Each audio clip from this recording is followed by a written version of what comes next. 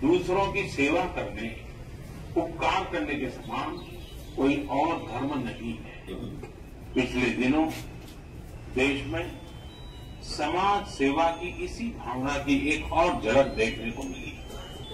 आपने भी देखा होगा कि लोग आके आकर किसी न किसी टीबी से पीड़ित मरीज़ को गोद ले रहे हैं।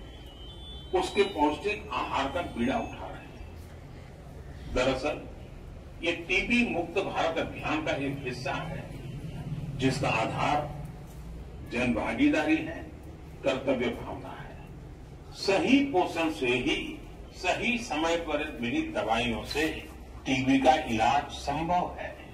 मुझे विश्वास है कि जन भागीदारी की शक्ति से वर्ष 2025 तक भारत ज़रूर टीबी से मुक्त हो जाएगा।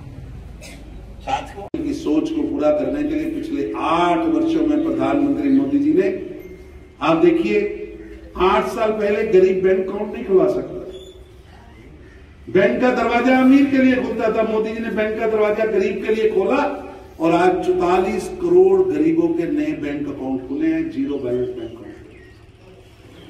प्रधानमंत्री जी ने ये पंद्रह अगस्त को घोषणा की। मेरे को याद है 2014 को लोग हँसते थे। कि बैंक का अकाउंट कैसे खुलेगा?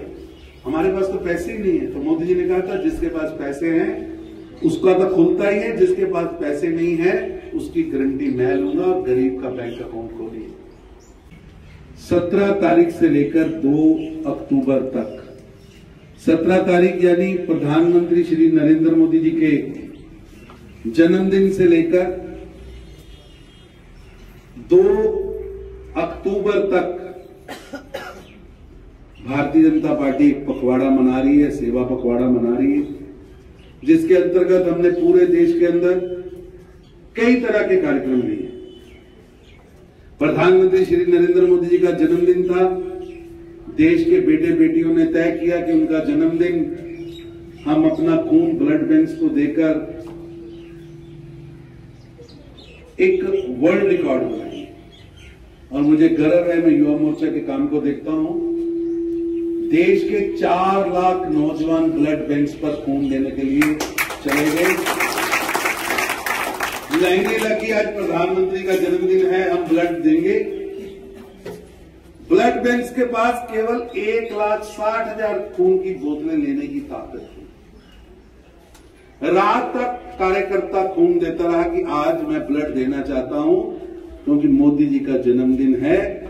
और डेढ़ लाख से ज़्यादा, एक लाख अठासठ हज़ार देश के नौजवानों ने कश्मीर से लेकर कन्याकुमारी तक, कच्छ से लेकर गुवाहाटी तक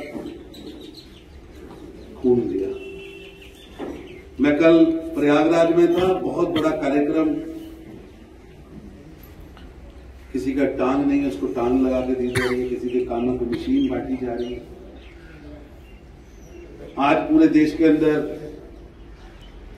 पर्यावरण दिवस है।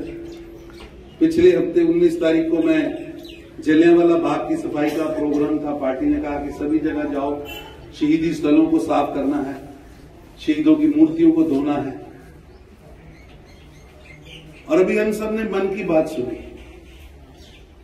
मैं आप सबको बधाई देता हूँ कि अभी प्रधानमंत्री जी ने मन की बात के अंदर घोषणा की, क्योंकि इसी पंद्रह दिन में शहीद आज़म सरदार भगत सिंह का जन्मदिन आता है। तो उन्होंने घोषणा की है कि चंडीगढ़ का एयरपोर्ट अब भगत सिंह के नाम से जाना जाएगा, शहीद भगत सिंह